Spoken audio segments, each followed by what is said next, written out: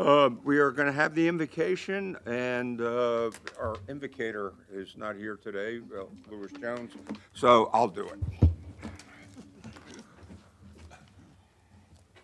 Okay.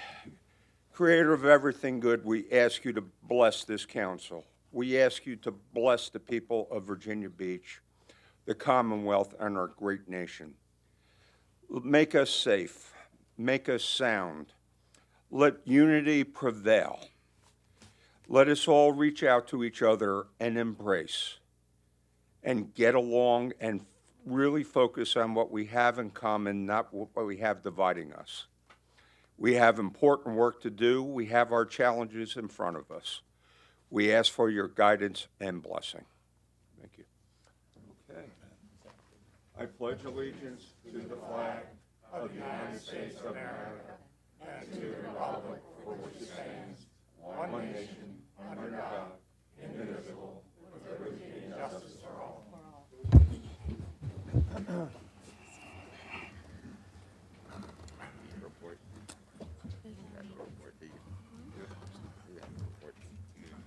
All right, uh, Madam Clerk, roll call? Uh, All present, including Councilmember Jones. Okay. Okay. Want to say why Louis is not here? Okay. Oh, uh, Lou, uh, he is out on business. Okay. Um, now I ask for a, uh, motion for a certification of the closed session. So moved. Second. Okay. Vote is open. It's open. There we go. By a vote of 10 to 0, you certify the closed session to be in accordance with the motion to recess. Okay, now we're gonna ask for a motion, uh, to approve the minutes of the informal and formal sessions of January eighteenth. So moved. Second. Okay, vote is open. Mr. Tower? I'm trying to remember whether I was here. I believe you Me too, were- I was trying I, to. I missed one meeting, the, uh, is this a, wor- this was, I was, missed a workshop. This is a formal session. Yeah, this is a formal. By a vote of 9 to 0 with Vice Mayor Wilson abstaining, you've approved the minutes as submitted. Okay, and um, now we're going to open up the public comment on the legislative request to add an amendment of the marriage provision to the Constitution of Virginia, requested by Council Member Berlucchi. Uh, The first speaker is, speaker is Melissa Lukeson. Lucason, I'm sorry. Melissa Lucason, James Nicholson. And after Mr. Nicholson will be, um, we'll begin our WebEx speakers. Okay. Hey, good evening. Good evening. Uh, I'm here to speak in favor of a legislative request regarding the marriage amendment in the Virginian Constitution. And I would like to simply ask, start with a question. What does the Marshall Newman Amendment currently mean in the Commonwealth of Virginia? Does it stand there only as an oversight as the Commonwealth has moved forward past its old legacies of, of the past, as we have removed Confederate statues, in 2020 finally repealed segregation laws from the books? Is it simply an oversight which we are just now getting to? Or is it sitting there with a vague hope by some people in the state that Virginia still holds to that amendment and that they were only dragged towards constitutionality of same sex marriage by the forceful hand of the federal government? And I cannot believe that the latter part of that is true, and that it's only an oversight which we are just now getting to, which we should get to. Because, as some say, it takes three things to make a trend. First, we have seen in 2020 that we finally overturned segregation laws, which are still were still in place despite being unconstitutional. We saw just this past year that we have finally begun to remove Confederate statues and the legacy of the Confederacy in the state. And so now it's the trend that we must revisit the Marshall Newman Amendment and request that it be finally taken away from the Virginia Constitution. It is not merely a symbolic measure as well. Even though it cannot be actually enforced due to the Supreme Court and a district court overturning its constitutionality, it still has real effects in the school system. Even though the issuing of marriage licenses cannot be prevented to same sex couples, when students walk into Virginia and they go into sex, sex education, which teaches abstinence until marriage. The constitutional definition of marriage in the Commonwealth of Virginia is marriage between one man and one woman. Regardless of whether the state cannot actually refuse issuing of amendments and licenses to same sex couples, students are still taught a framework where marriage is between a man and a woman. In the name of fairness, in the name of equity, justice, which we've already begun to implement in the state the past few years, we must continue that trend and push for the overturning of the amendment. Thank you. Oh, thank you very much. Appreciate it. Thank you. Great job. Barbara Messner, I do not see her. We'll go to the WebEx speakers now. The first one is Virginia Jancott. If you will pause two to three seconds before beginning, you are unmuted. Good evening, Mayor Dyer and council members. My name is Dr. Virginia Gencott, uh, but most of you know me by Ginger. I currently serve on the Virginia Beach Human Rights Commission, but I'm not speaking for the commission tonight. I am addressing you tonight as a private citizen. I have served as vice president on the board of directors for Hampton Roads Pride which is the leading LGBT advocacy organization in the area. Over the last five years, I have invited all of you many times to Pride events, and I've stood alongside you in advocating for the LGBT community. I am so grateful for the support you have given for our community in support of non discrimination. But what tugs at me right now is this when a law targets one group of people, it is discrimination. I am so thankful that I am able to stand before a group of elected officials who have taken a vow to represent the people, all people, and to know that you will do your best to encourage the Virginia General Assembly to also support the LGBT community. So in support of marriage equality, I encourage you to include in your legislative packet the amendment of the marriage provision of the Constitution of Virginia. It's the right thing to do for all people. Your support as the leaders of Virginia Beach will resonate loudly in Richmond. I cannot emphasize enough that when a law targets one group of people, it is discrimination. We have come so far together to eliminate discrimination in housing and employment for the LGBT community. And I hope we continue this. I thank you for your service and for rese- representing me and the LGBT community's right to marry who we love. Thank you. The next speaker is WebEx, Michelle Lauder. If you'll pause two to three seconds before beginning, you are unmuted. Good evening. I want to start off by saying that I've been married to my husband Scott for 33 years. I chose him as my partner because of the love he and I shared for one another. Love comes in all forms. It would be wrong to say that a person cannot marry someone just because they are not from the opposite sex. I read something recently that truly resonated with me. Marriage should be between a spouse and a spouse, not a gender and a gender. Everyone deserves the life they desire and to the person they love. Same sex marriage should be legal because the Constitution expresses equality.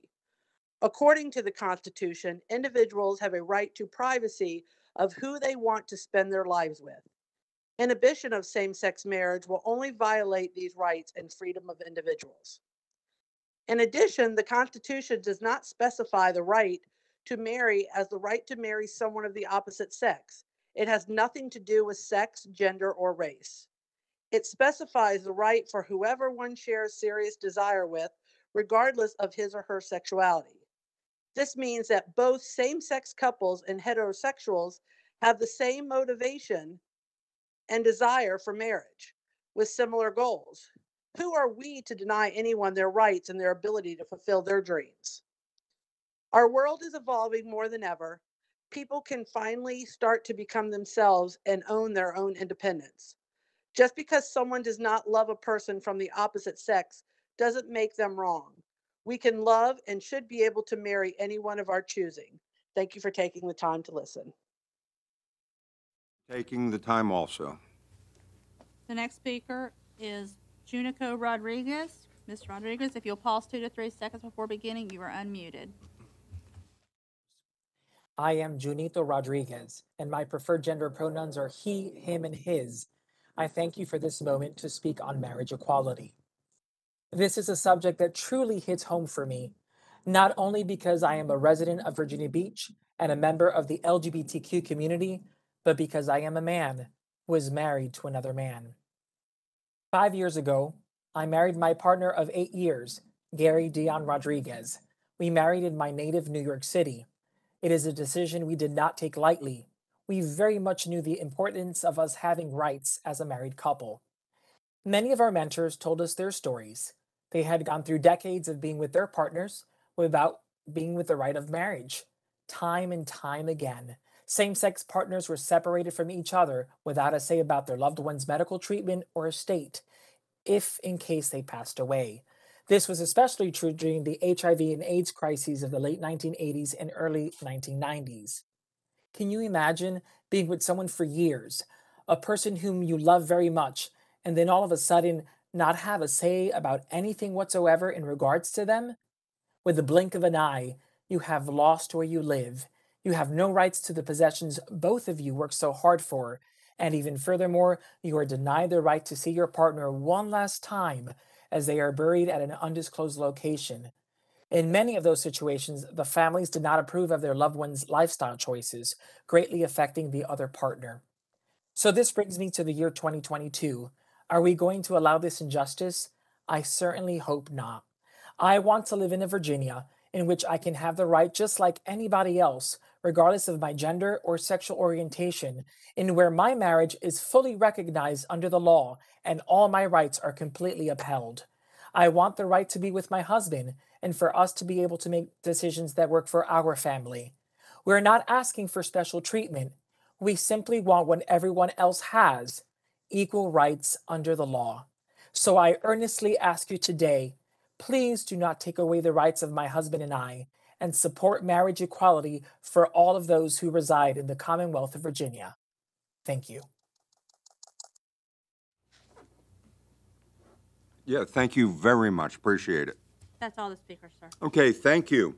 Uh, We will now move on to the public hearing on the exchange of excess prop, city property at 2395 North Landing Road to uh, Princess Anne Village LLC, approximately 43,140 square feet of city-owned property. Uh, we had one speaker signed up, Barbara Messner, but I do not see her in the audience. So no Okay. speakers. In this case, uh, we well, we can go direct to the consent agenda? Okay, And we'll do the add-on afterwards. and we'll do the add-on afterward. You have, Okay, under ordinances and resolutions, number Oh, one, Hold on. Uh, You're going to approve the item on the consent agenda, correct? So you would need to add it first. Okay. all right, we're gonna add, as number eight, the declaration of a local emergency due to winter storm Kenan. Do I have a Do you need a motion? motion? So moved. Second. Okay, votes open to- for the add-on. That will be number. by a vote of ten to zero, you have added this to the agenda. Okay, so under ordinance and resolutions, number one, ordinance to declare approximately forty-three thousand one hundred and forty square feet of city property at twenty-three ninety-three North Landing Road in excess of the city's needs and authorize the city manager to execute all disposition and exchange documents with Princess Anne Village LLC and Kellum and Eaton Incorporated regarding Foxfire Trail. Under number two, uh, B, sections 1-3, 1-6, 1-12, 1-13, 1-14, 1-15, 1-21, 1-26, 1-28, and 1-30, City Code Appendix D regarding the Stormwater Appeals Board. And C, sections 1.1, 1.2, 1.3, 1.8, 2.1, 2.2, 2.3, 2.4, 2.8, 2.11, 3.1, 4.1, 4.2, 4.3, 4.4, 4.6, 4.8, 4.9, 4.10, 5.1, 6.1, and 6.3, 6.3, City Code Floodplain Ordinance Appendix K regarding housekeeping, the deletion of public works requirements, and the addition of a coastal A zone and a coastal high hazard zone. Number three, ordinance to confirm the declaration of a local emergency regarding Winter Storm Jasper. Number four, resolution to declare 1049 and 1053 Virginia Beach Boulevard to be a revitalization area regard qualifying for Virginia housing financing. Number five, ordinance to authorize temporary encroachments into portions of the city's right-of-way known as 36th Street and Atlantic Avenue, commonly referred to as the City Greenbelt, adjacent to 3601 Atlantic Avenue by the Belvedere Hotel Investments Associates LLC. Ray install and maintain a seat wall, landscaping, storm drain, concrete flume, and irrigation sys- system, District 6 Beach. Uh, Six, we have a speaker. Seven, and Mr. Moss will be voting no on this. Ordinance to authorize longevity and college incentives for the sworn employees of the fire department and emergency medical services, as well as employees in the Emergency Communication Division of Emergency Communications and Citizen Services, and transfer one million, two hundred and sixteen thousand, five hundred and fifty-three dollars from vacancy savings within the general fund to the FY 2021-22 Fire Department Emergency Medical Services Division of Emergency Communications and Citizen Services operating budgets. Number eight is the declaration of a local emergency due to Winter Storm Kenan. Public hearing, Okay, uh, the, uh, public hearing on planning. and there isn't anything, we're hearing it, sorry. Nope. That's it. Oh, yeah, that, yeah, they were not that. Okay, any discussion? Then the vote is We open. need a We, second. we don't have a second. Okay, we don't, Second. uh, sorry. Okay, Mr. Holcomb, may I have your vote? yes, Mr. Boss. M- Thank- I'm sorry, by a vote of 10 to 0, you have approved the, or, the consent agenda as read by Vice Mayor Wilson, noting uh, Mr. Moss's nay vote. Thank you. Thank you, Mr. Mayor. I think I'm a few minutes late. However, Mayor, Vice Mayor, members of council, at your place setting, there were new versions of the stormwater and the floodplain ordinances. They are simply um, periods, changing numbers that had been transposed, that kind of thing.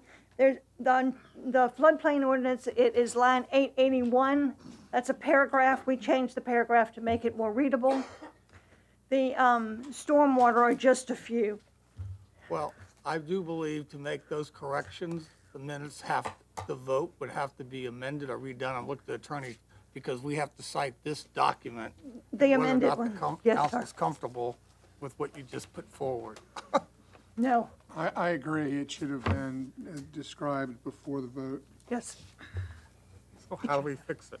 All right, Um, You'll have to have a substitute motion to approve those items as amended at your place. Okay, and we do that, but, you know, with the I'm- I'm sorry, normal, I need to know which uh, numbers on the agenda, Kay. Well, here they are. I understand that's where they are, massing the numbers. Mayor, if I could? J2, Yeah. B, and is this C. a wholesale B and C. replacement? Yes. Yes, sir. Can we identify this document and put an exhibit on it and say Exhibit A so the emotion knows exactly what, what document we adopted? Um, it is under two, if we make, uh, the one for stormwater, uh, two B, if you want We to will do make it that. as amended and put an exhibit A Yeah, I on think it. Exhibit A is best, so it's distinctly and legally identifiable. yep, good point, John. So Okay. is one under B and one's under C, is that right? It would so- be B and C, yes, ma'am. Okay, Exhibit A for each one. Um, Under consent, we amend 2B Exhibit A and 2C Exhibit A. Okay, we need a second on that? Not 2A. 2A has been pulled. Right, two B. Two B I and mean, sorry, C. 2B and 2C, excuse me, and they're both under Exhibit A. Okay, They both will be identified as amended as Exhibit A. okay. Any other questions or Did we get a concerns? second? So moved. Okay, uh, uh, the- we got the second, we're open. Mr. Tower. Mr. Tower, did you make the original motion? I think so. I think so too. Mr. Branch? You need this? I have one, thank you. Okay, th- Five oh, thank you. ten to zero, you have approved as amended. Okay, thank you. Excuse me for my. Yes, sir, Uh, Mr. Br- uh, I, Rouse. I go after Councilman Moss. I yield to him. Well, thank you, uh, Councilman Rouse. I just wanted to explain my no vote on item J7.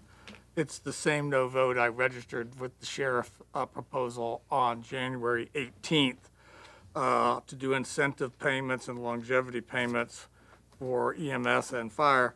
We are in, po- we are within weeks of receiving, if not days of receiving, our total compensation package.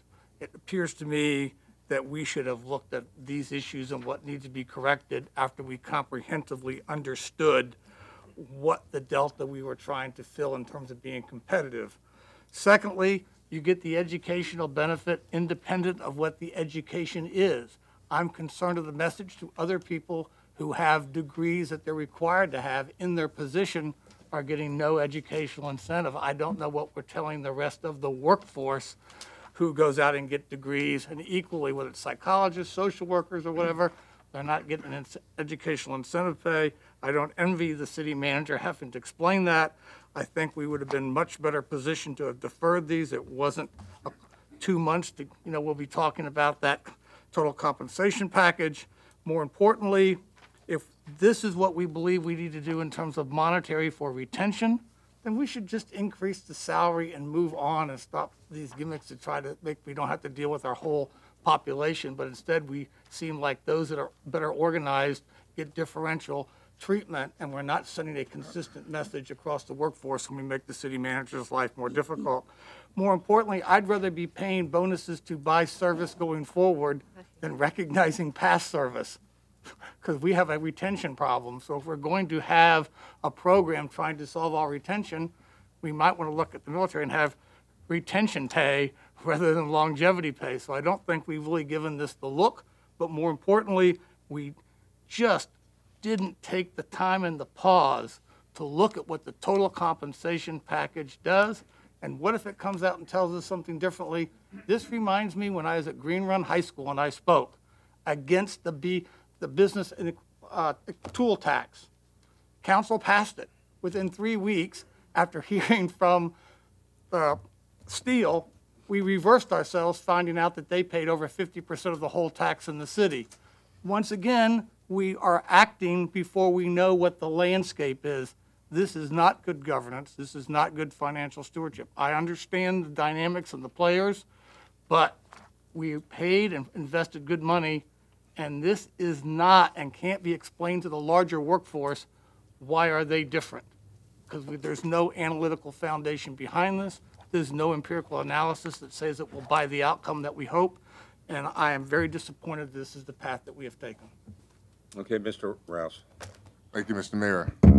Um, Speaking of the large workforce, I just want to make my in- intentions known. While I'm proud to support our, our fire, EMS, um, employees in the Emergency Communications Division um, of Emergency Communications and Citizen Services, I'm also looking forward to the uh, market salary um, survey to come back so we can support um, those in public works who we heard from last week um, and all the difficulties that, that, they're, that they are having because of low pay. I'm also looking forward to support those in public utilities, parks and recs, human services, the, the rest of our city staff who also help to keep our city going. And so, again, while I'm, I'm proud to support um, our, our first responders, also want to make sure we're going to support our city staff. And that's something that I am, throughout this budget cycle, I'm going to be intent on and hoping to have support so we can make sure our, our staff is, is well paid. Thank you. Yeah, I concur with your reasoning, uh, Mr. Rouse, and uh, I- hopefully we're going to be really moving forward in the same direction. Okay, Ms. Henley? Well, I think we can make a very important distinction with these employees that we are. Uh, uh, Ms., you're out of order. Thank you. I'm aware, I'm letting you know I'm here because you're not calling me and you're letting. Uh, Yeah, voice. the consent agenda was already read.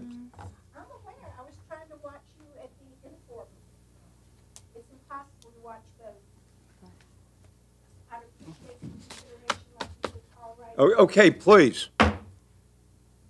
Another Barbara was talking. Um, I think there's a very distinct difference between the employees that we're addressing here and the rest of the workforce, and that is because these particular departments have got extreme, an extreme number of vacancies. They must be filled 24/7. It's causing a great hardship, but more than that, it takes a long time to train the new people to fill these positions.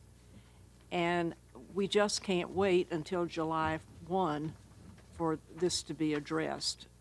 Um, And, and I think there is a, a, a very distinct difference. It doesn't mean we're not concerned with the other employees, we certainly are.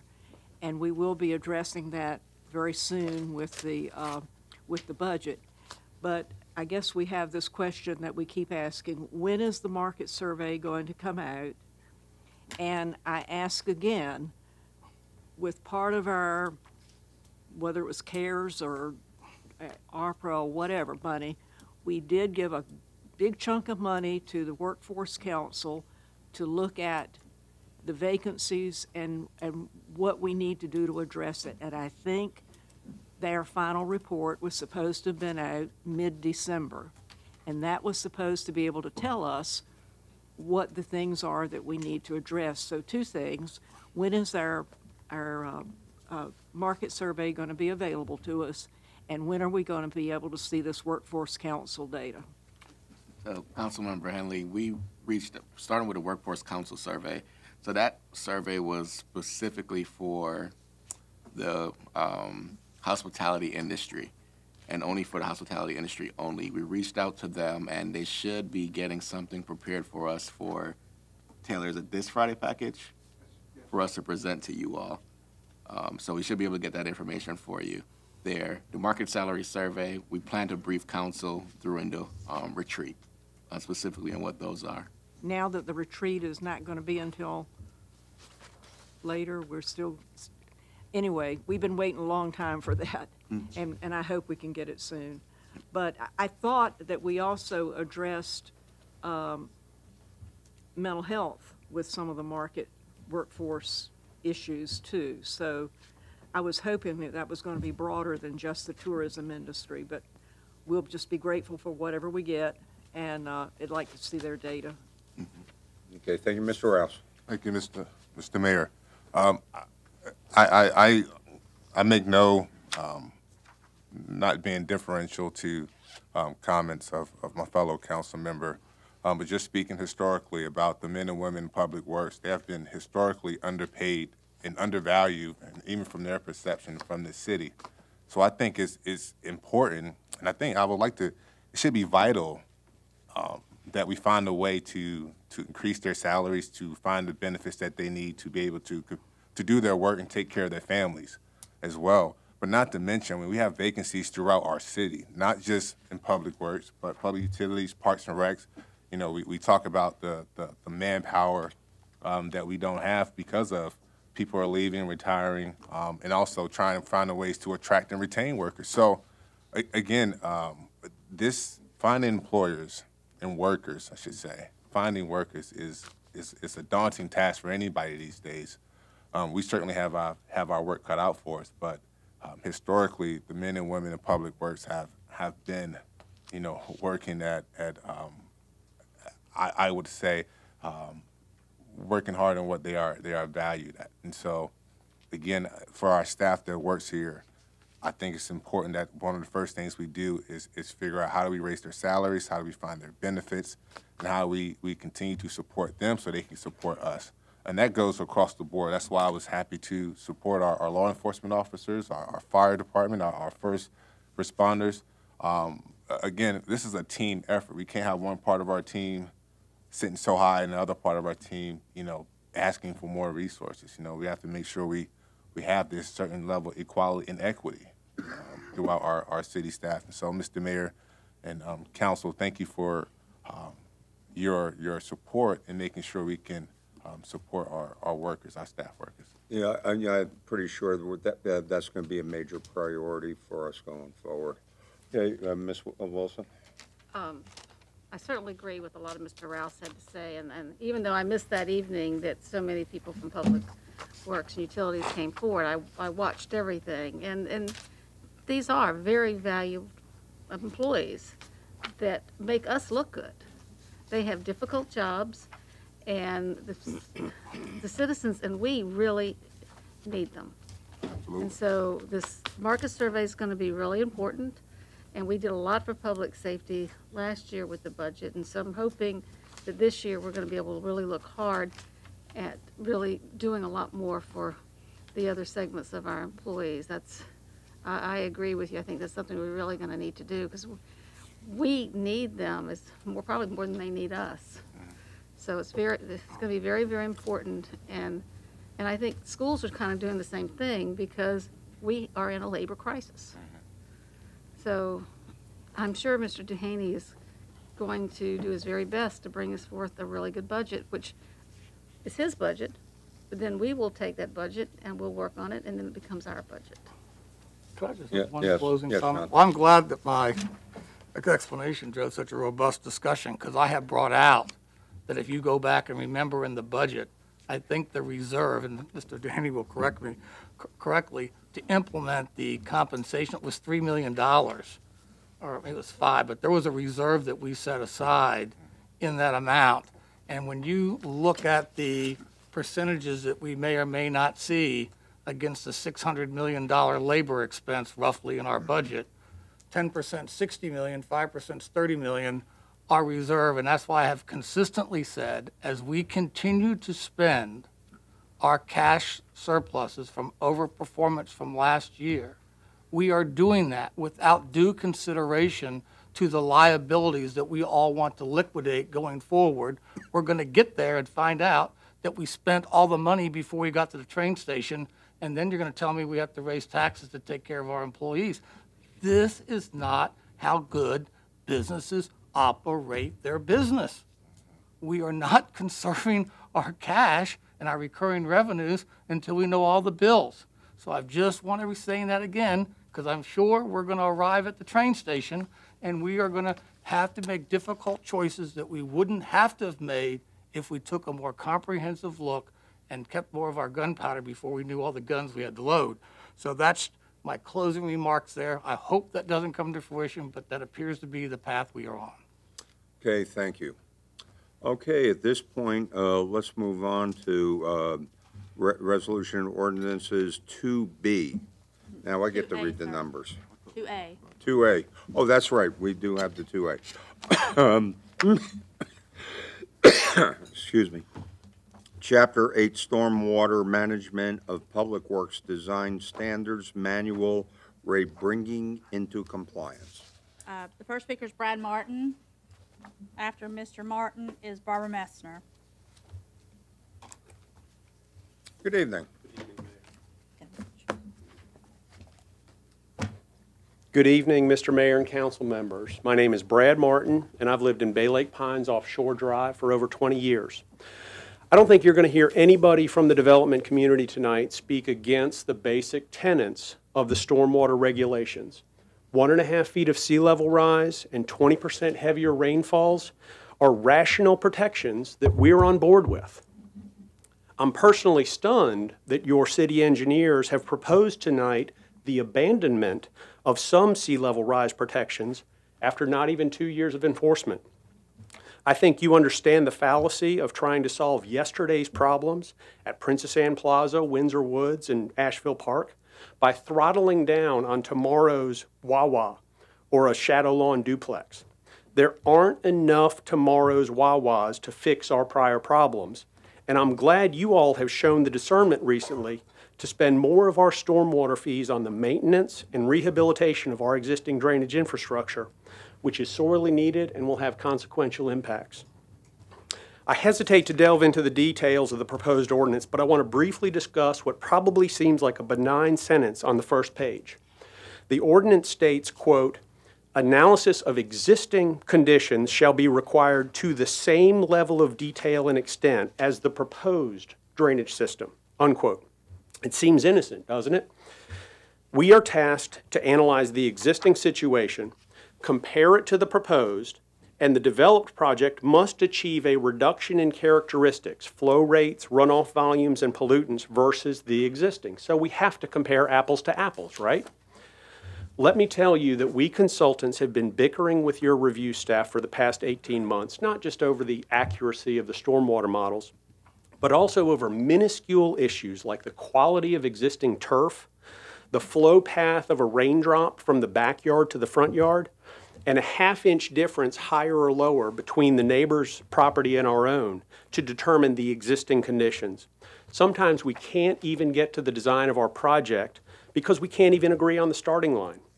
With reasonable and acceptable methods to approximate runoff from previously developed properties, there's hardly a reason or any benefit to precisely dissecting the existing conditions to the same level of detail as our proposed project. I tell you that so you'll understand that there are seemingly innocent sentences throughout this document which can become absolute showstoppers under the rigorous enforcement of an overzealous review engineer who is under pressure to do anything and everything to fix flooding.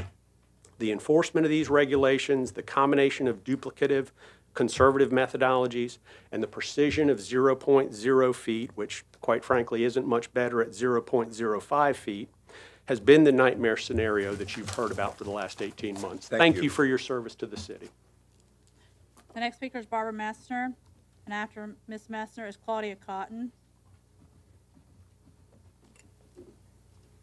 Good evening.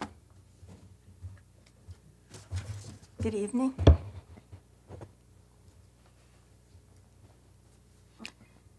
Fascinating when somebody starts their petitions to run for office, they suddenly come up to speak at council when, you know, these issues have been going on for a long time. And as far as due process, you know, the city manager, you know, there was no advertisement in the paper for this meeting, none.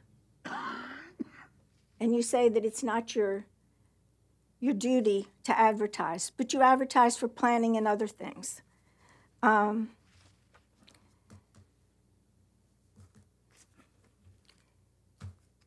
like I said, there's, there's a conflict with the people who will be benefiting from this, including people who will be selling real estate in these new places. Um, and this affects, um, you know, you're talking about public works. You know, Miss um, Miss Wooten wants to have something for the uh, in February for the new uh, for one new person that was killed last year. I'd appreciate it if you'd have so, uh, something for a permanent memorial because I really appreciate the fact that you're taking action now, Mr. Rouse. And as far as the public workers, this is just one of the of the palm trees that we replace every time there's a storm and every two years. Do you have any idea what this costs to come from Florida? And our public works uh, people, um, our police, fire, and rescue. I, I listen to uh, your shiny new jewelry is really glaring. Um, you know, I listen to y'all talk about caring about the the employees. You don't care about the employees. Um, and you talked about, you know, police being used for certain things and then they weren't available for something else. What about the polar plunge? What about everything else that you have where the police, fire, and rescue are pulled away from their areas? Y'all don't care about public safety. And I hope everyone will go back and listen to this workshop. And I'd like to know, besides the lobbyist, uh, if we paid Mr. Berlucchi to go up there and lobby for us. You know, there's a Hatch Act. Uh, Please stick to the item at hand. I am. I'm talking about due process and your duty to protect everyone. And you don't have the you know what's to say anything when Jafari Jones screams and threatens at you, but Okay, you Ms. scream at me. Messner, Yes. you're out of order. I know. You're- You're supposed to speak on the particular item, period. Well, Next thank you. Claudia. okay, Mr. Um, Mr. Stiles has agreed that it's our, th- our three minutes by the Constitution, which other people have mentioned before. Thank you. Okay? The next speaker is Claudia Cotton.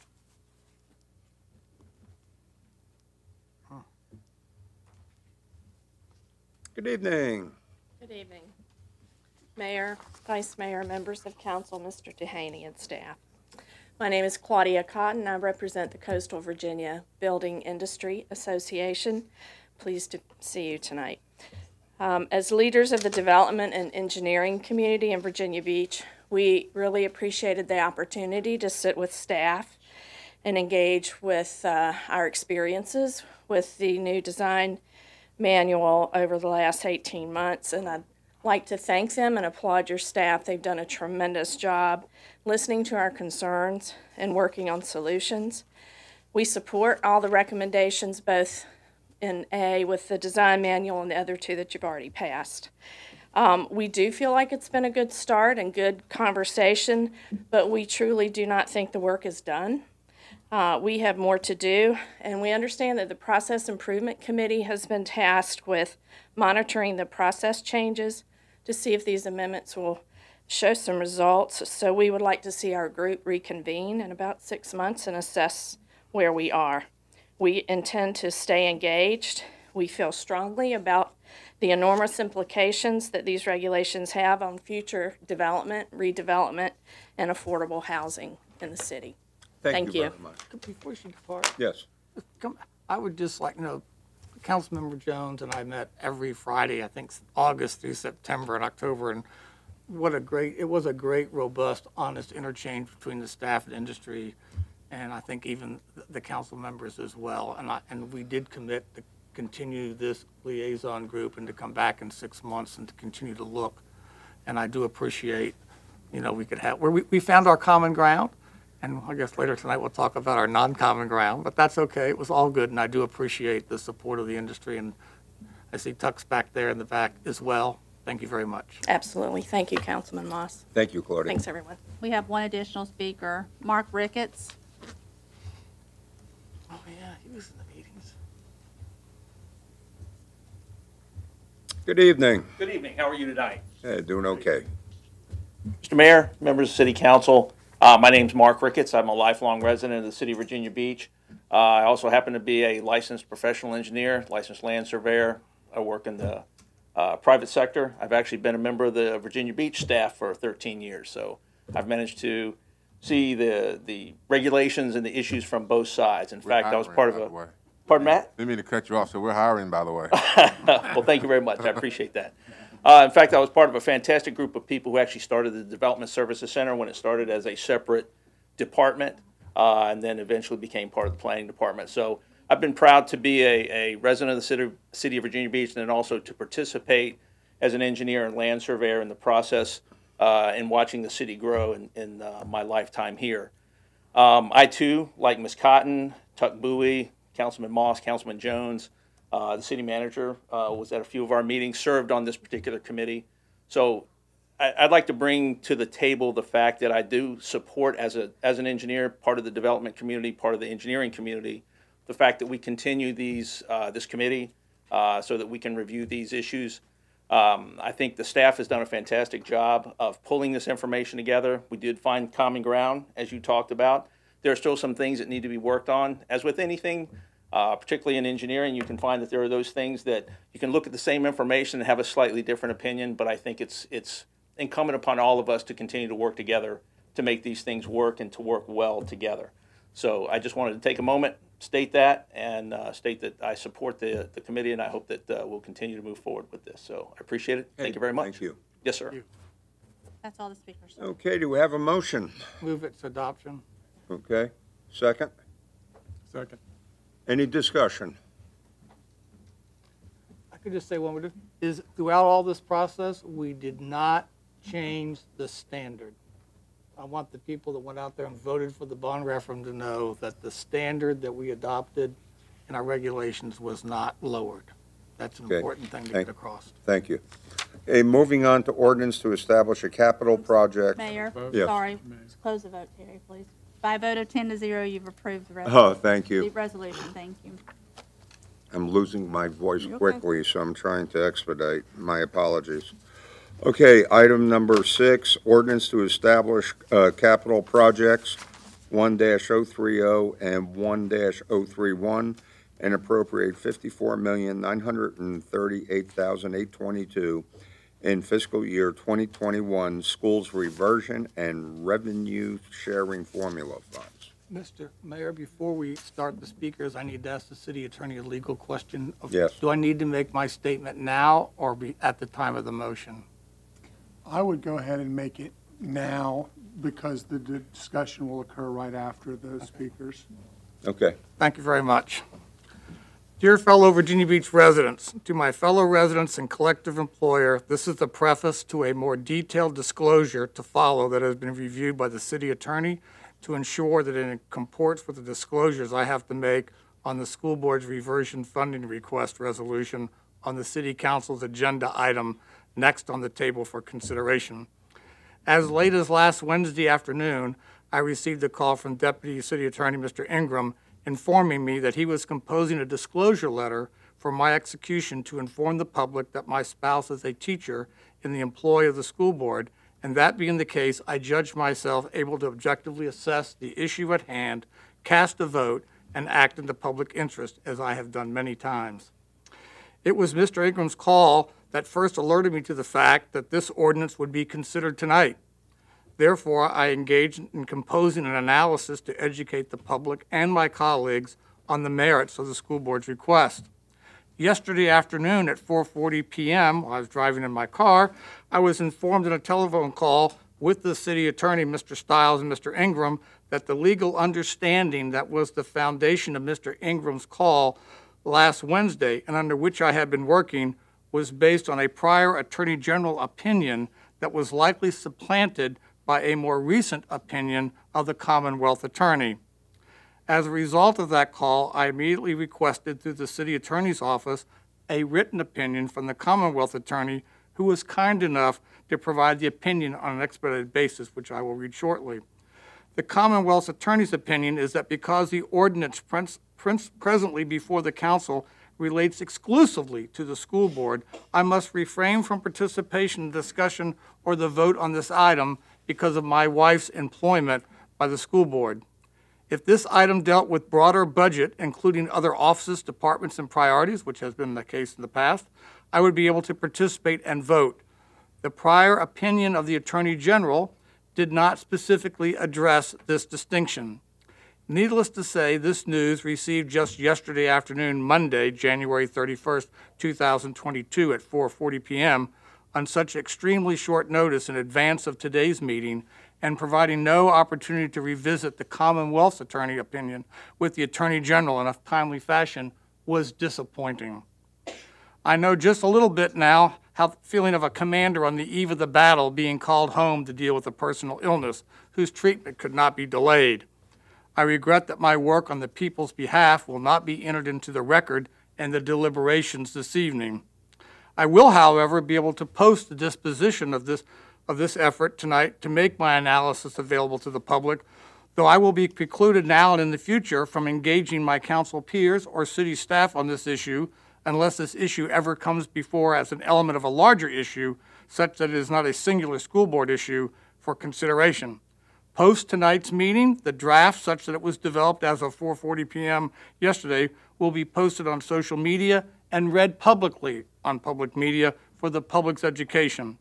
The city attorney has orally advised me that the former action is not legally precluded.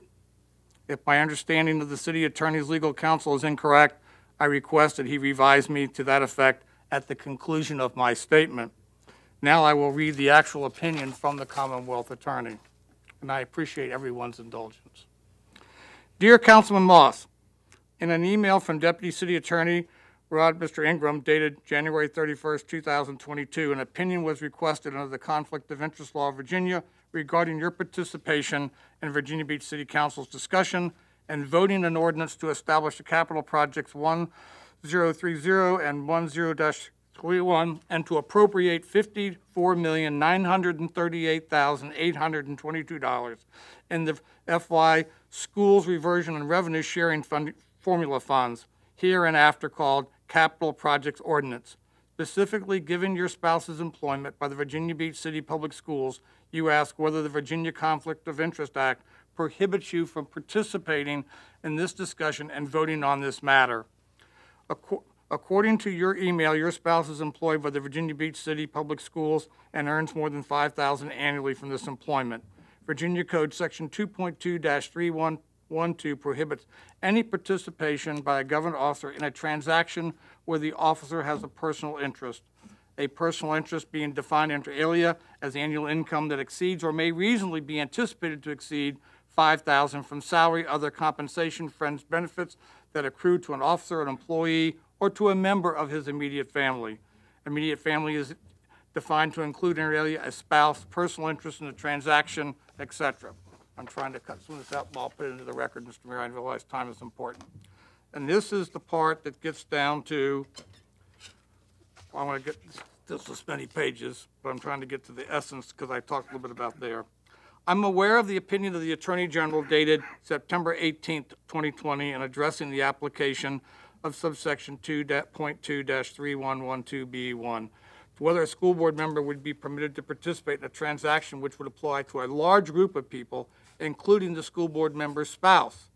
The attorney, this is the school board to school board, mind you. The Attorney General concluded under the application, since there were more than three people in the group that included the school board member's spouse, the school board member could participate so long as there was also a compliance with the requirements for disclosure, which I previously have done. The opinion did not address the application of Section 2.2-3112AI. As set forth, it states, employees having a personal interest in a transaction must disqualify themselves if the transaction has an application solely to a governmental interest in which they have a personal interest. This is a distinction between the previously described prohibition. It is based upon that section that the city Commonwealth Attorney has concluded that I cannot vote this evening or participate in the discussions. I am going to request a review and revisit this by the Attorney General, Jason Miyares. Uh, while I respect and thank that I have to abide by the opinion as given, but I do take great exception that it, that was the intent or the meaning, but I will be withdrawing until this matter is concluded, and I appreciate your indulgence. Both the letter and my statement will become part of the record, and I appreciate your time. And I appreciate the public's consideration. Okay, thank you, Mr. Moss. Okay, um, no, we, uh, do we have a motion and speakers. We have on this? speakers. Yeah. Uh, the Okay, first speak- speakers. Mrs. Marsh. And after Ms. Marsh is uh, Melissa Luxon. Good evening. Good evening, Mayor Dyer, Vice Mayor Wilson. On your ordinance here to appropriate 54,938,000 in reversion funds to the school district. I am opposed to this because, as been said earlier tonight, I think we're going to run out of money before we pay all the bills. And this has been happening every year since I've been speaking to you about the pension crisis that is a global pension crisis. And currently, from numbers that I can get through Truth in Accounting, even though I have asked for them from our own VBGov, um, I feel that we are one billion five hundred and thirty-three million dollars in arrears on funding the pensions. So if I were working for this city, I would be very concerned, is it going to become like Detroit, Mr. Duhaney? They never thought in 2013 that they would declare bankruptcy, but they did. And when they did, people who worked there, someone I know who worked in Detroit for 40 years, no longer has that pension. And we're many years out from that, eight years. So it's really important we look at this, especially when we note that it used to be a zero balance. It was a surplus until 2003. The hands by council only started going into the cookie jar in 2003. So in 20 years, we've gone up to 1.5 billion. If my numbers are off, give me more correct numbers. But that's a big number. And I stood here before you, Ms. Wilson, I remember you speaking up on this, and we had these charts that were going to pay down the amortization of this loan. It was going to pay it off in 25 years. Well, here we are a few years into it, and I bet if these charts were updated, which I keep asking for, the numbers would be off the charts. So I'm asking you to defer this until we have a more complete look at all the bills. We don't know what all the bills are. And I've sent you all the Truth in Accounting comprehensive look at the city. I don't do this, they do it for 75 cities, and they tell us that we are in arrears, the 1.55 5.533 billion. So I'm really asking you to slow down this process, take a look at it, and know that the taxpayers are nervous about you having to raise taxes and reduce services. And if I were going to work here, I don't know if I would do it because I don't know if this pension or the benefits for retirees are going to be very good a few years down the road. So you might want to really take a look at funding this and not just giving more money back to the schools. Thank you. Thank you. The next speaker is Melissa Lucasen. Well, she's coming up. Uh, Mr. Duhaney, uh, a few years back, Patty Phillips did a analysis of everything and got it out to us, and I think it's been a while. Mhm. You think we could get Kevin to do something for us? I'll look into it with the finance director. Thank you. Thank you. Good evening. Good evening. Um, sorry. Um, I actually, this is, I was running late from traffic. Mr. Berlucchi, I hope you had support. I had a great speech writ, writ, written for that. Um, but this is, I, this was the one that I was going to pull myself from because I thought we really had good support here. Um, Thank you. um, so school board, as far as I am in support of you guys passing this for school board. Um, Ms. Marsh actually makes some good points on retirement funds. Um, I- I'm just speaking as a citizen. I am in a, a group, uh, you know, a local forum, and I wish I knew how great teachers were then as I do now.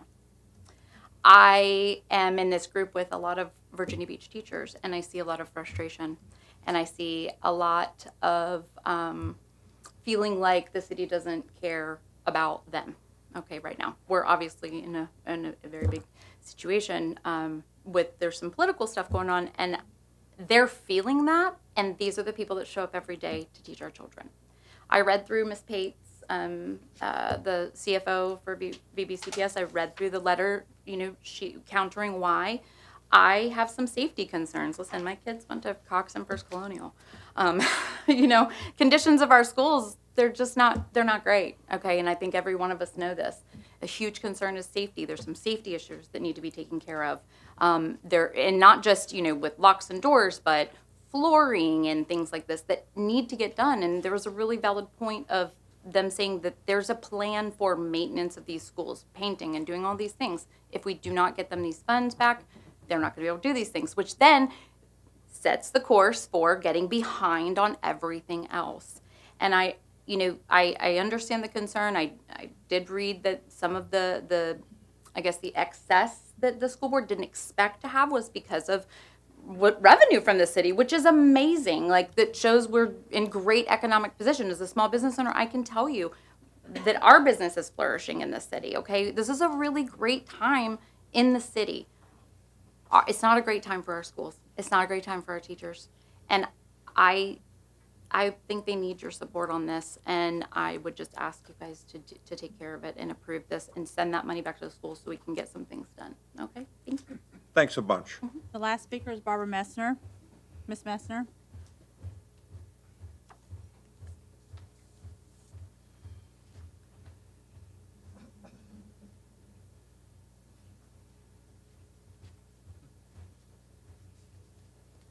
Good evening. I appreciate um, Ms. Marsh coming back to speak. Um, And, you know, the school reversion funds, um, this has been brought up many times, but uh, nothing is ever done. And the school teachers, every time you raise the budget, as far back as 2012, the teachers come here, oh, oh, please help us. It's the students. It's the students. It's all, all employees that need help. And as far as the conflicts, I notice um, Mr. Moss left. Um, Colin Stolle has admitted conflicts. And um, so does Mr. Mr. Moss on, um, you know, Linetti. He's flip flopped, I don't know how many times since 2014. And uh, it's a toxic work environment all over the city. And, you know, I watched, uh, you call her Deb. You know, she works 24 7 as a paid lobbyist, 24 7. And she reports virtually. I can't even imagine what she's paid. And you're looking for money to help the employees? Please look at the salaries and the benefits. Um, yeah, uh, Mr. Moss's conflicts with Owls Creek, the arena, um, on and on. Since I missed being able to speak because I was trying to watch y'all. Um, VB Strong for Centera. You know, you're not, the toxic environment was shown even by Hillard Heintze, who you paid what, 600,000 to not find anything wrong? Um, but these people are still fighting, and, and they deserve a permanent memorial. You've taken money and misused it that's supposed to go to these people. Uh, Christopher Rapp, Katherine Nixon, Alexandra Gusev, Missy Langer, Mary Louise Gayle, Robert Bobby Williams, Tara Welch Gallagher, Richard Nettleton, Joshua Hardy, LaQuita Brown, Ryan Keith Cox, and Herbert Bert Snelling. And I, I am, s- do you want to sign Yeah. up for uh, open mic? Yeah. Thank you. Um, Ms. Messner, we're going to make a correction of something you said. We have a committee right now looking to put together a group of people, including the victims, to plan to, for input. No money has been taken away from this initiative. I'm talking about VB Strong, CARES Act, everything else. VB Wrong as, uh, Okay, okay, but I'm well aware, I'm in touch with these people. I'm totally aware of what you do and what you pretend to be doing. I'm totally aware. thank you. That's all the speakers, sir. Okay. Mr. Mayor, I'd like to move for approval, and then after it's second, just make a couple comments. Okay, any other comment? Yeah, I just want to say that um, I agree that the schools, the staff, the children, this has been a really incredibly rough time for them. And this is a historical amount of money that we've never had before. And we asked for the schools to go back and to sort of rearrange how it was being spent, to put it to use where we could get more built, and, and they, they did that. Um, Eight million's going to Princess Anne High School, seven and a half million's going to Betty F. Williams, five million's going to Bayside High School, and the, the, um, artificial turf that we've been hearing about. Well, Mr. Rouse could probably speak to it much better than I can, but it saves money because of maintenance. Mm-hmm. But also, what hasn't been brought out is it also helps with injuries, mm-hmm. where you get less sprains and things like that. So it'll it'll help protect our athletes mm-hmm. as well. So, you know, when you look at it's being spread across two schools too. So I I think the school board had worked really hard. They know their priorities. They are a duly elected body, and it's very fortunate that that money is there for them to put to good use. Absolutely. Yep, Mr. Rouse. Thank you. Um, I think we all understand how, how incredibly um, the, pr- the amount of pressure our, our school um, boards, our teachers, our students, um, our educators, uh, the type of pressure that they're under these these days. So I think it's extremely important that um, this council, you know, we, we find a way to, to, to continue to support them um, going forward and supporting our, our schools and supporting our students. Um, here with me tonight, I, I have my intern, um, Ari here from First Colonial, um, which is my alma mater. I know Councilman Branches and Berlucchi as well went to First Colonial from Legal Studies Academy. Bayside. and and Bayside. um, but this is our future here, and so when we talk about investing in reversion funds back to our schools, I see that young man and many other young men and women, um, him, her, they, all make sure I get all the acronyms there. Um, they are our future, and so uh, I'm I'm proud to support this initiative um, as well. And again, like you said, this even though this is historic, we also are living in historic times. We've been through a pandemic as well, um, asynchronous learning at home. We're asking our teachers to do so much, um, and we haven't even touched the, the mental health part of um, things that our kids are going through, just dealing with the pandemic. And so um, hopefully, uh, with the reversion of these funds, will help in that initiative to, to building um, better and brighter young men and women. Thank you. Thank you. Okay, vote is open. By a vote of nine to zero, showing Mr. Moss absent. However, we will put his conflict letters in the um, minutes. Uh, You have approved the ordinance. Thank you, Madam Clerk. All right, moving on to a planning item. Uh, Number one, uh, resolution to adopt and amend the Virginia Beach Comprehensive Plan 2016 array stormwater impacts for discretionary land use applications deferred from January 4. The first speaker is Barbara Messner. After Miss Messner will be Tuck Boo- Bowie.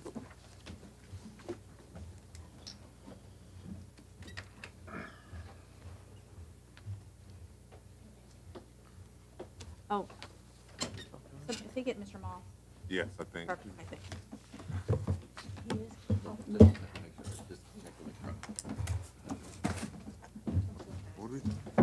I saw Rocky come, I knew it must have. I'll have my say later. Welcome back. Good evening. Okay, um, which one, Amanda? K1, K1, planning. Resolution to adopt and amend uh, comp plan 2016, stormwater impacts for discretionary land use application, deferred planning commission denial. And I need to say, you know, the fact that y'all have interns, I think is totally inappropriate. Uh, that you have help, you don't have time to respond to us. Um, none of you. You only respond to those who help uh, keep you in office. Okay, so um, stormwater. I've already gone over the stormwater, and you spent two hundred and sixty thousand to advertise and spin, and you're spending two hundred and sixty thousand on the Holloway case. And you, you did change it instead of formally to actually who our reps are because there's an appeal. There's, okay. You know, air workers can't keep up. You're using them for the wrong things. And this is the debt bond. This is the first phase. First phase. Um, 567 million. And some of it's a 95 year plan, and the desired cycle is 50 years. Um,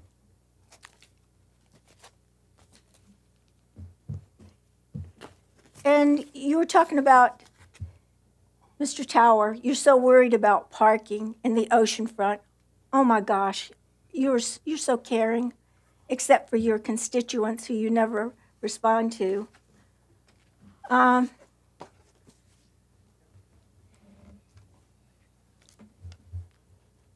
anyway, um, I'm, I'm in opposition. You keep amending everything. Thank you. Thank you. The next speaker is Tuck Bowie. Mr. Rouse. Mayor, point of clarification, um, Okay. Ms. Ms. Messner, Mhm. how are you doing this evening?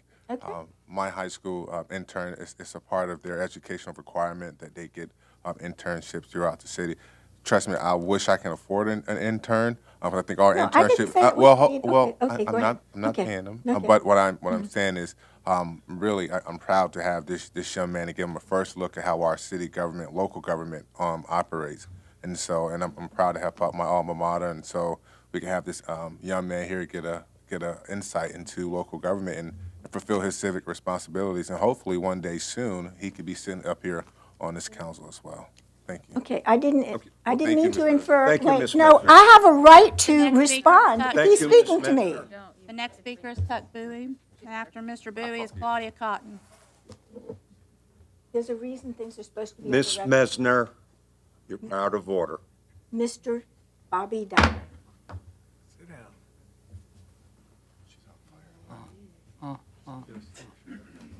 Hey, good evening, Mr. Bowie. Good evening, Mayor Dyer, Vice Mayor Wilson, members of City Council. My name is Tuck Bowie. I am a local builder and developer whose office is located in the city of Virginia Beach. I'm also a member, and I'm very fortunate to have been a member of the stakeholders group who worked rigorously on looking at your stormwater regulations, who spent a lot of time um, meeting and, and working on these issues. And I'd be remiss if I didn't thank Councilman Moss and Jones, City Manager Duhaney, members of your planning staff, your DSC, your Public Works Department, and your um, Stormwater uh, Department for allowing the development community to have an opportunity come to the table and sit down and have these discussions. Uh, I applaud council for approving the changes to the uh, regulations, and my hope is, I'm also a member of the, of the um, Process Improvement Steering Committee, and my hope is that council is going to allow that committee the opportunity to monitor these new regulations and report back to you to let you know whether or not they have made a difference. I've talked to your planning director, Bobby Devine. He's indicated that he has the metrics that we can measure those against, and it's my hopes that we'll be able to do that.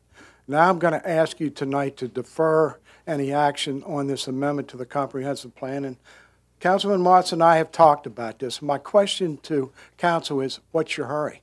You've already got in place the, the process and the procedures that allow your staff to look at any discretionary rezoning that comes before planning commission and city council to get a rigorous review.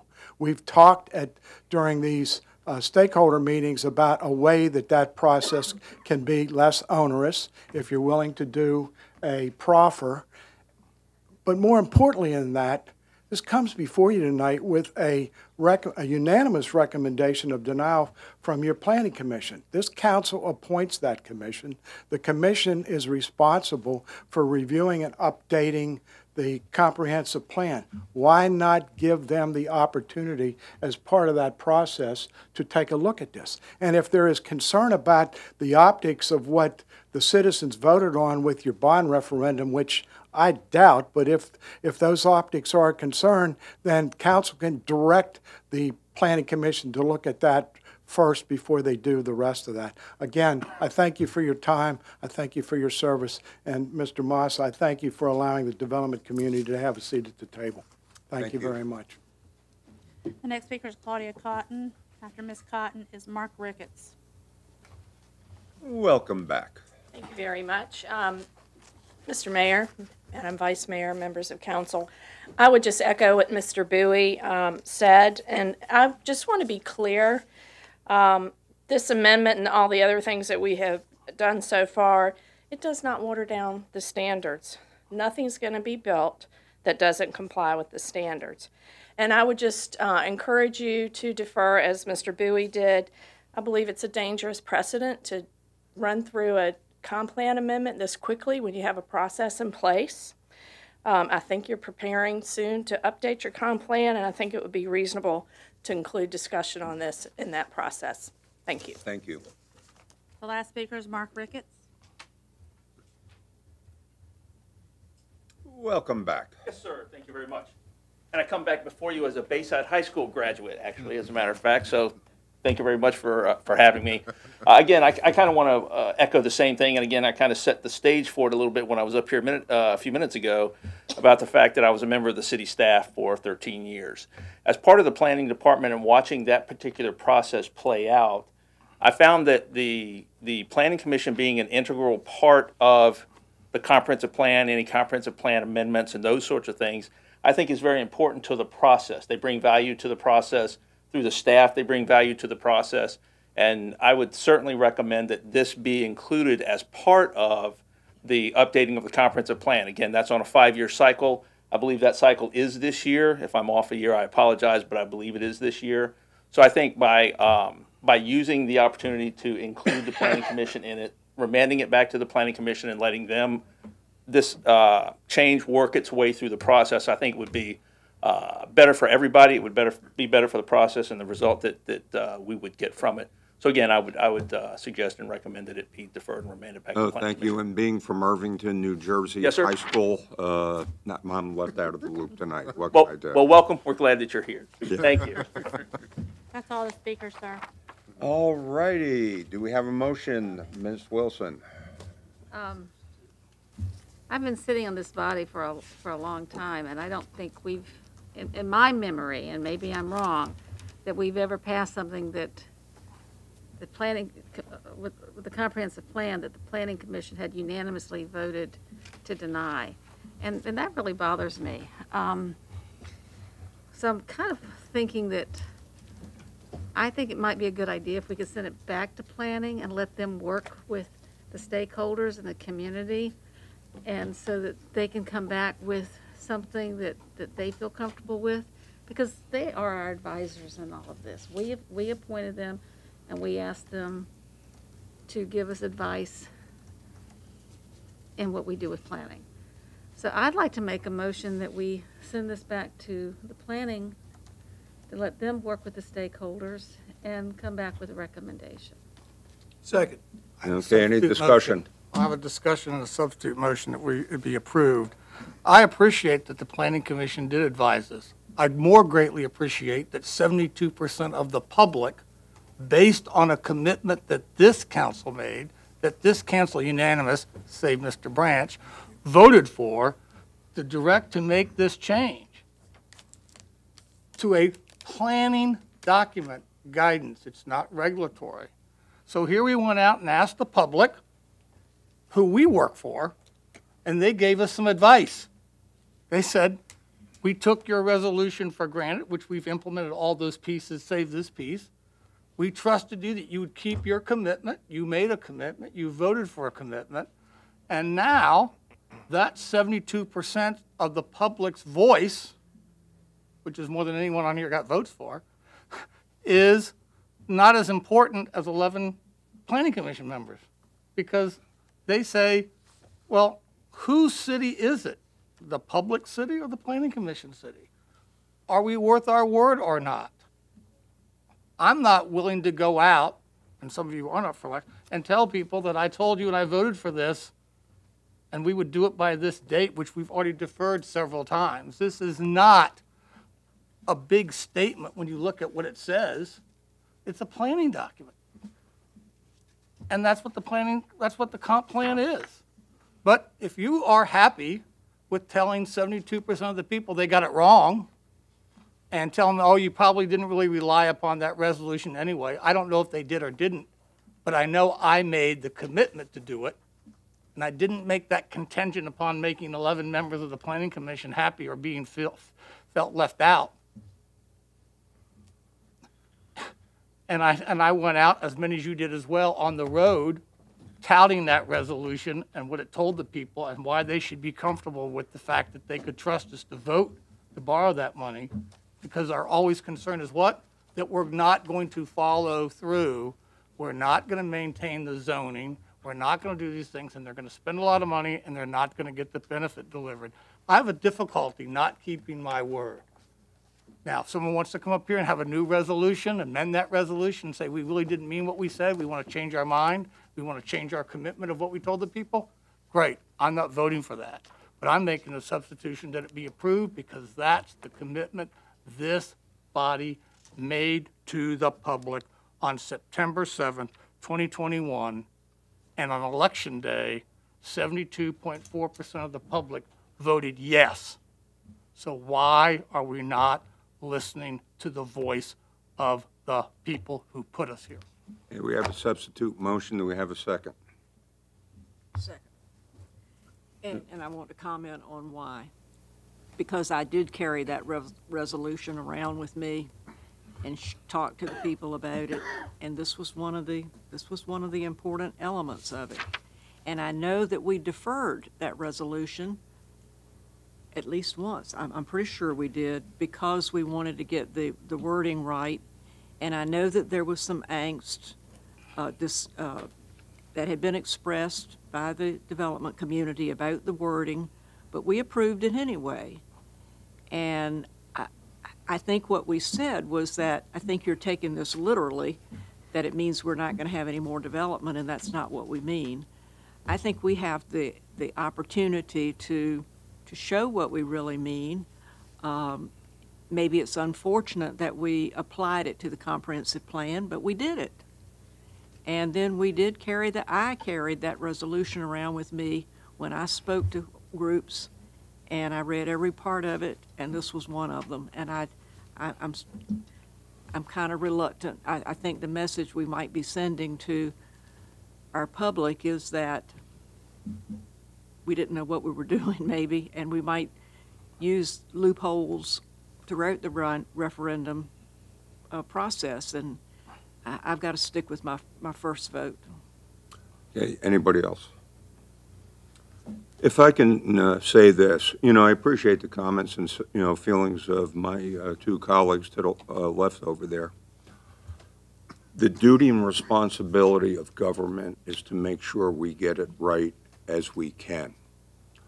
Ever since I've been on council, since 2004, we've always been trying to find that delicate balance between the del- uh, development community and, um, and other things. We have had pr- process problems in the city for years.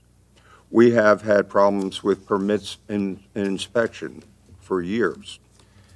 We just recently had, and, you know, even Mr. Moss admitted, uh, some great dialogue about coming together, where we had a blend of government with the development community, with discussions that uh, were fruitful.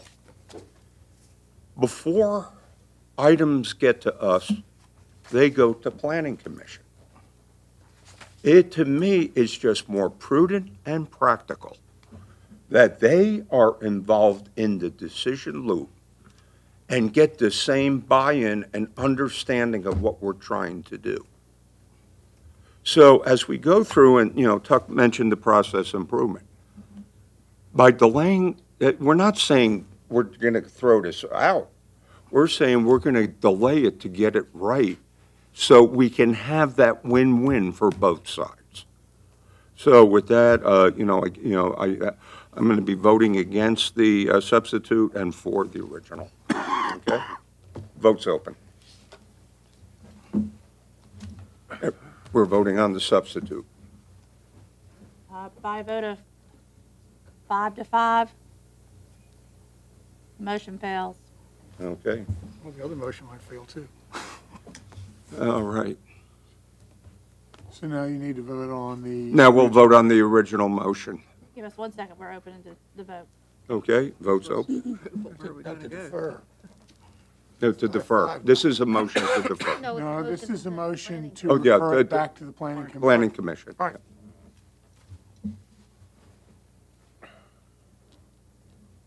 By a vote of six to four, this item has been referred back to the planning commission. Okay, thank you. Um, Now, at this point, uh, we have appointments. Bad vote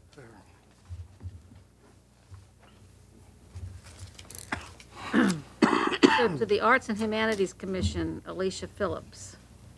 Bayfront Advisor Commission, Whitney Graham. Bikeways and Trails Advisor We Committee, deferred anyway, right? Dee Oliver. Excuse me, a point, I need a point of clarification. We, we deferred that. That was the vote to defer it, correct? It- Refer it back to planning Uh, commission. Refer, ba- you know, refer back to, uh, to Planning Okay, Commission. then I'd, I'd like to change my vote if I can. Oh, can we re-vote? Because I thought, I thought it was deferred to, I thought it was to defer to January fourth. I mean, I thought we, we was gonna defer it I think you again. have to do a reconsideration. We can vote for it on February 1st. I thought, You were on the prevailing side. I thought we were gonna, I thought it was deferred. I didn't know it was deferred to planning commission. I just thought it was deferred again.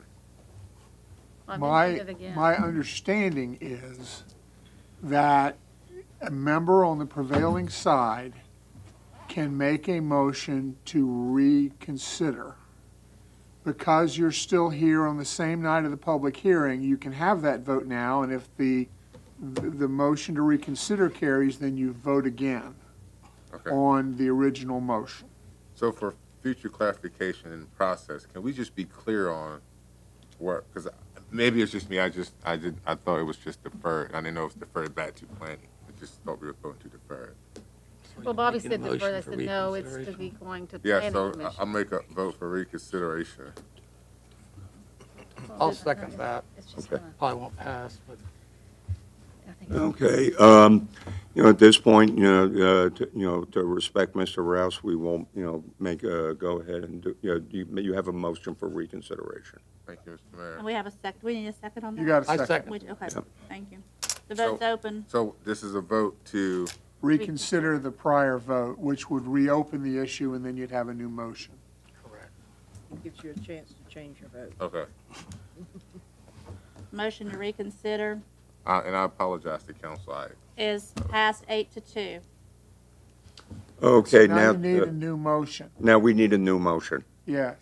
The Motion is to send this item back to the planning commission. Second. One second, we need to open the vote. Okay, We're running out of votes, but we're- you're good. So this is a motion to re, to send it back to re, to send it back to planning commission.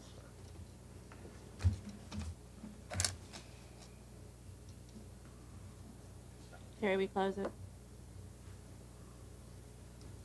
By a vote of five to five, that motion has failed. okay. We have nothing. That's right. It's okay. Well, mm, I think we'll get back to the drawing board. We'll be on the agenda for Louis to be the deciding person. Yeah, let's put the pressure on them, okay? Well, you, you don't have, you, you haven't done anything with the item yet, so, No, it's, we have nothing. Okay. Get back to appointments. Okay, um, Fails. We, yeah. If there's no motion to approve and no motion to defer, then I think it fails. I think that's the result. It's result. failed, there's nothing. Yeah.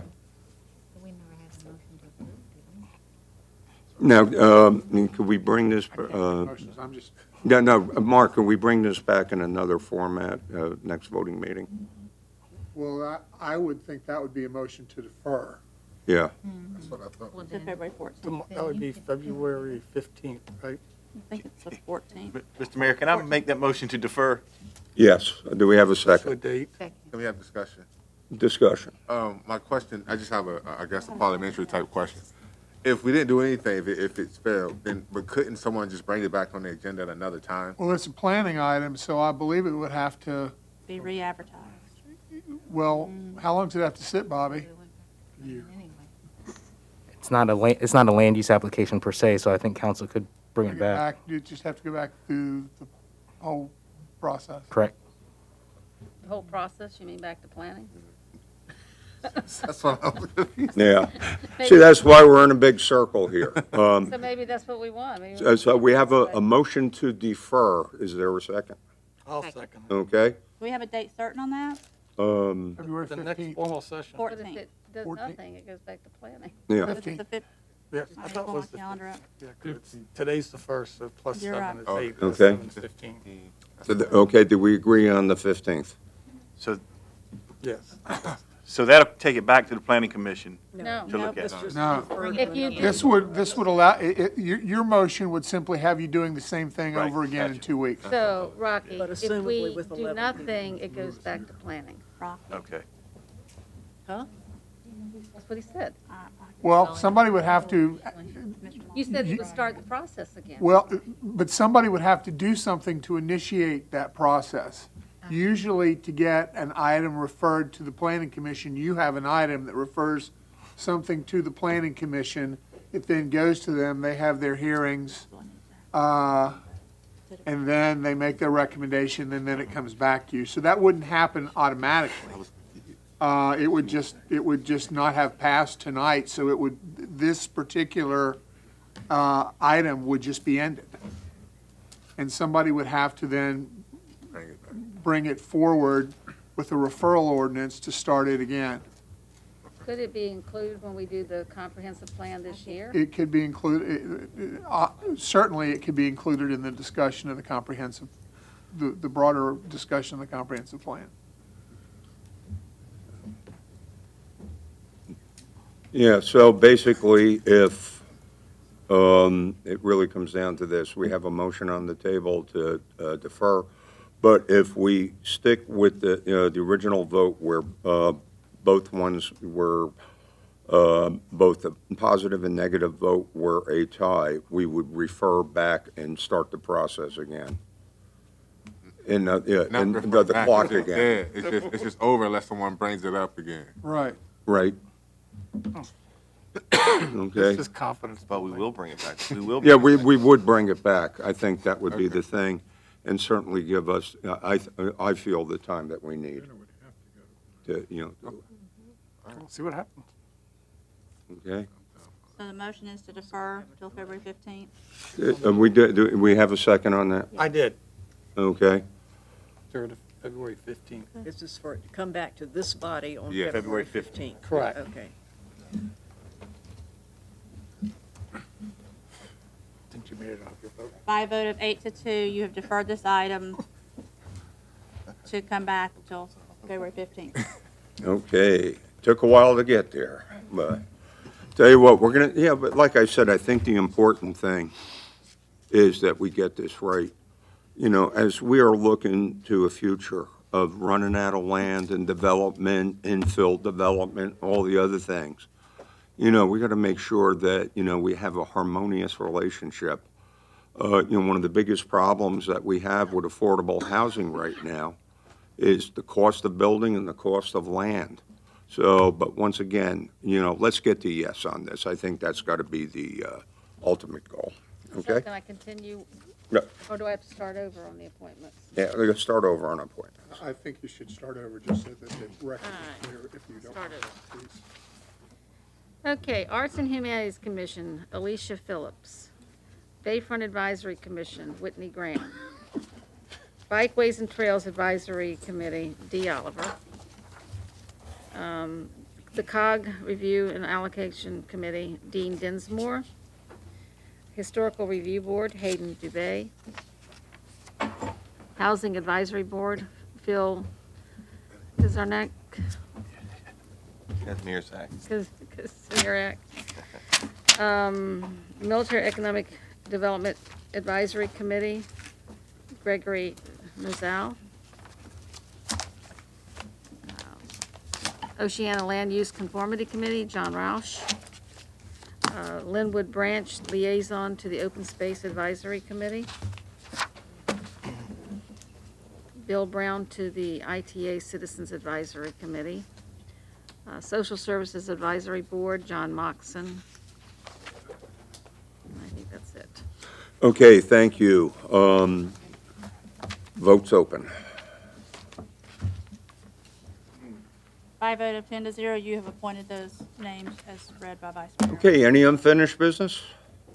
Any new business? Mr. Mayor, Yes. if I may, Mr. Mayor, members of council, uh, today, uh, today I'm saddened to say that, uh, uh, as a, as a deputy sheriff and a, and law enforcement officer for 30 years, it's a terrible day when we get the email saying we have to drape our badges for any reason. And today, we had a uh, disaster at Bridgewater, Bridgewater College where two public safety officials lost their lives. And then here at home, we lost uh, uh, a, a very good public servant, a true hero in Master Police Officer Dave Nieves. He, he passed away today while surrounded by his family. He's a 26-year veteran of the Virginia Beach Police Department.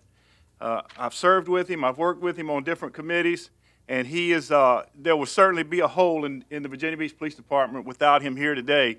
And uh, I see the officers in the back of the room nodding, and anybody that he's worked with or that's he's uh, communicated with, he touched their lives and he made a difference. And if we had more Master Police Officer Dave Nieves in the profession of law enforcement, I promise you it'd be a much, much better place. So we grieve with him and the family, and, uh, and may, they, may he rest in peace and take over it from now on. We will serve. You have served us well, and we will take it from here.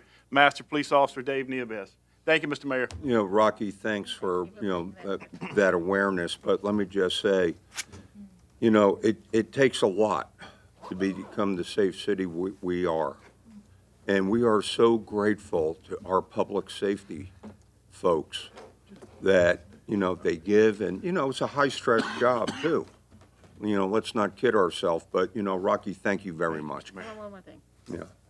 Um, I know February is Black History Month, and, uh, Mr. Manager, if you please let us know, maybe in our Friday packet, the things that the city's gonna do to help celebrate that, we'd really appreciate it. Okay, I will.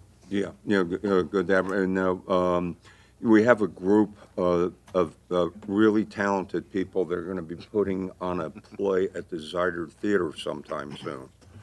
And, um, it, and it's to really highlight, uh, and start launching a, a, uh, Mr. Berlucchi was at, uh, the meeting with me. And to really launch an initiative of mental health awareness and, you know, working on the problem. Okay, thank you, though. Okay, we are adjourned, uh, re- uh, adjourned, and we're going into open mic.